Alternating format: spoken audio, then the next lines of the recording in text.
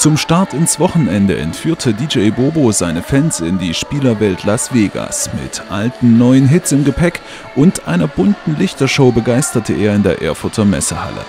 Mit der Show, in der es ständig hoch hergeht und der Zuschauer unter Dauerstrom steht, feiert der Schweizer sein 20-jähriges Bühnenjubiläum.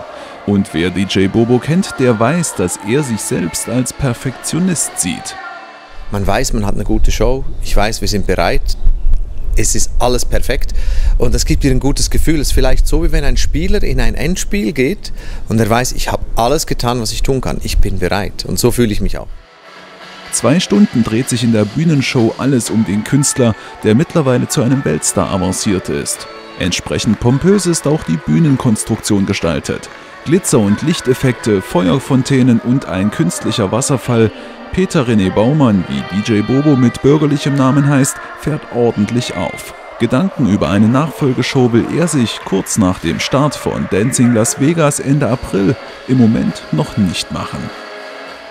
Ich bin ein Mann, ich kann nicht zwei Dinge gleichzeitig tun. Also das heißt, die Tour wird erst abgeschlossen. Aber dann kurz darauf wollen wir uns zusammensetzen und schauen, in welche Richtung es geht und wann. Neben Liedern seines neuen Albums sind musikalische Neuerungen kaum in seiner Show vertreten. Die Tour mit rund 50 Konzerten geht noch bis Ende Oktober.